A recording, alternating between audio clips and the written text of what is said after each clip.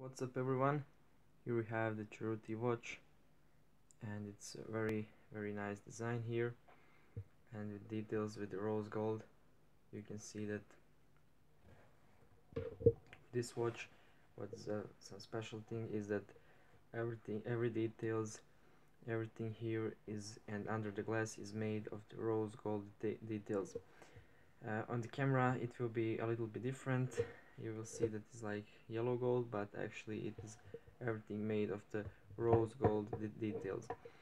On the bracelet you have here on this part you have the Cerruti 1881 engraved in this part it is very high quality and also the bracelet is a leather leather bracelet.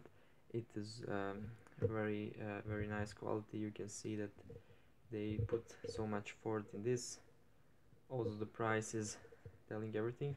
Uh, the Cerruti 1881 is also engraved under the bracelet on the inner side and you can see here that is engraved general leather.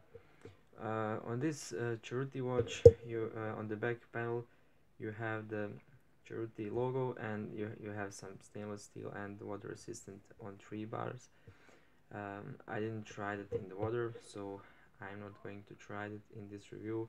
I'm just doing this review to see uh, how this watch is uh, designed and made and what you have what you got in the, box with your watch.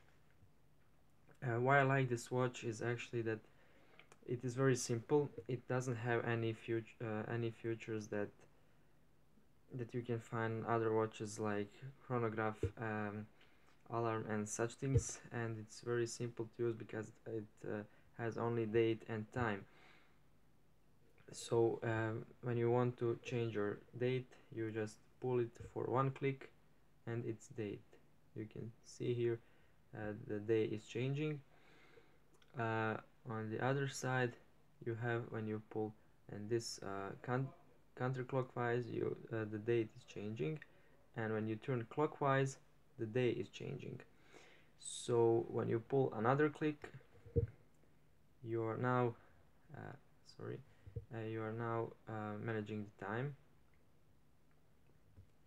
So um, it is very simple to use this watch. It is very elegant and and it's um, I really like this design of this watch. It is uh, when you touch this you can see that uh, this uh, quality is is very nice uh, the build quality of the watch is very nice especially this bracelet.